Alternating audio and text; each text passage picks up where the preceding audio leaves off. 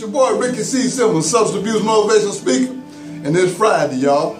You know what we do on Friday, we get our jam on. But first I gotta say thank you. Thank you to everybody that's supporting my new book, The Explosion of Redemption. And really, really want to say thank you for sharing it with your friends. You know, that's that's huge, man, because all I really want to do is lift people up and I want to help people avoid the pitfalls in life that I had to witness firsthand. So with that being said, thank you for your support and I hope that you continue to support me and I want you to also know, little inside tip, there will be book signings coming real soon and I will keep you guys posted. But know what? It's Friday. So let's get back to what we do on Friday. We're gonna get our jam on. And when we go get our jam on this time, it's gonna be like uh, you know, that smooth tip. You don't know nothing about this right here. Check your boy out.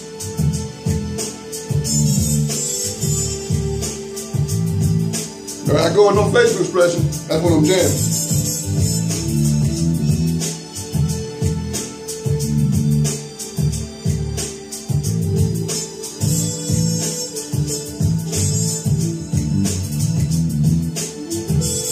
I want all y'all to have a great day today. I want you to remember something. Every day you blessed to see, it truly is another day in paradise. I want everybody to stay positive keep your head up, no matter what.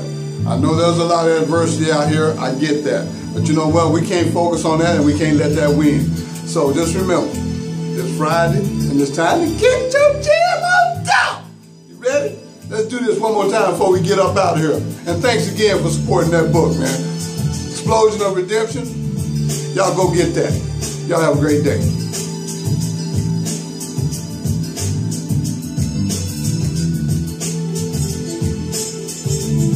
Just another day in paradise.